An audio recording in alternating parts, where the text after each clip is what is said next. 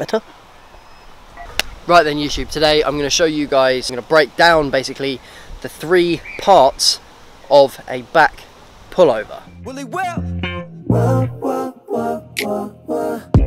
So guys, if this is the first time you're watching a video from me, don't forget to click that subscribe button and ding dong the notification bell so you get notified every single week when I upload my weekly videos. Now, as I said, in today's video, I'm going to be breaking down the back pullover, which is a quintessential move used in freestyle calisthenics and also for some gymnastics as well. I'm not going to be doing it to gymnastic standard, but calisthenics guys, this will apply to you. So, we're going to break down the three essential parts of what a back pullover is, which to me is a toes to bar leg raise, an inverted row, followed by a negative pull up. So let's get into this. So, the first part, toes to bar raise. What we want to do, get up onto the bar. We want to be in a hollow body position, so we're going to engage our abs and we're going to make sure that we don't have an anterior pelvic tilt. So we don't want our hips to be backwards like this. We want our hips forward in a nice slight C shape. From here, we're going to engage our scapula, so we're going to depress and retract them. So we're going to pull them down to here, do a scapular pull up. Then what we're going to do is bring our toes to the bar. So starting with the legs, until we get to this position here. You want to try to keep your legs as straight as possible. Point your toes, squeeze the quads, come up nice and controlled. And after we've got the toes to bar, we're going to do a slight lean back around our shoulder joint. So after we've got the toes up to here, we're going to lean back to this position here. And then we're going to be ready to start the second portion, which is an inverted row. So, the inverted row. What an inverted row basically is, if you imagine that you're on the rowing machine at the gym, you're sitting down like this and you're pulling the bar to your waistline. That's exactly what we're doing, except we're upside down on a bar at the calisthenics park. So, if you move around to here so you can see the angle, what we're going to do, we're going to do our toes to bar, the slight lean back, and then I'm going to demonstrate the inverted row. Let's go.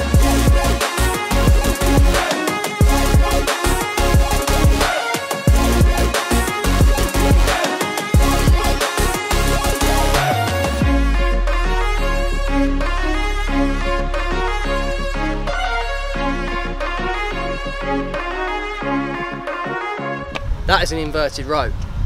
It's putting a lot of pressure on the lats, so you do need fairly strong lats to be able to do this.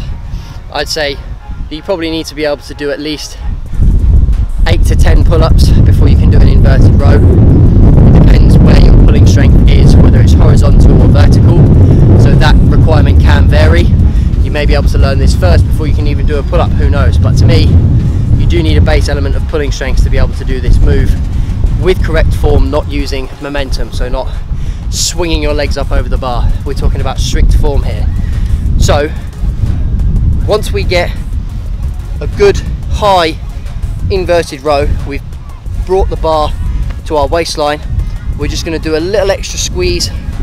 Try and kick your legs over a little bit so you can roll up to a straight arm position on top of the bar. Should look something like this.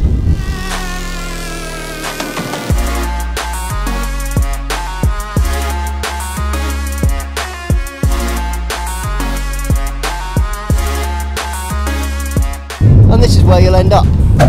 So, as you just saw there, once I got my hips to the bar and pulled a little bit extra and just swung my legs over once I'd got to the top, there is actually a fourth element in here, which I forgot to mention at the beginning, which is essentially a straight bar dip. So once you've got your hips over, you'll be in this position with the bar on your hips and you'll be lying on top of it. From here, you've just got to do a dip or the top half of a dip and push the bar away to the straight arm position. This part, the reason I left well basically the reason I left it out at the beginning and this is a three step process and not four step process is because you don't actually have to get to a straight arm position.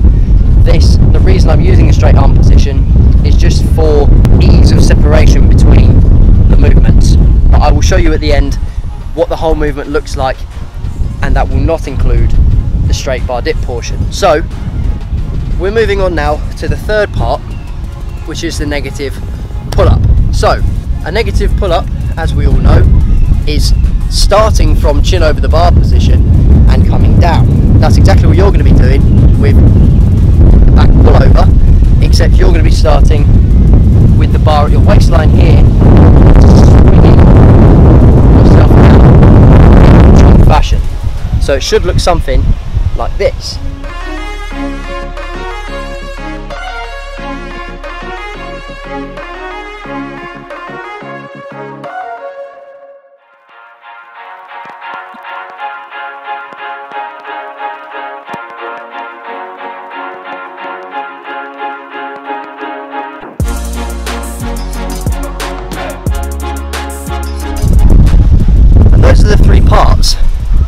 To the back pullover. It's literally that simple. The main two things to master to be able to get this move down is the toes to bar with correct form and the inverted row with correct form. The rest of it comes fairly natural due to this thing called gravity. And that's just the way it happens people. So if you've enjoyed this video and you're going to use it to learn this essential move for calisthenics, the back pullover, make sure you drop a like on the video, it really does help out the channel. Don't forget if you haven't done so already, click that subscribe button down below. Don't forget to ding dong the little bell that appears next to it so you get notified every single time I upload. Thank you very much for watching. See you in the next one.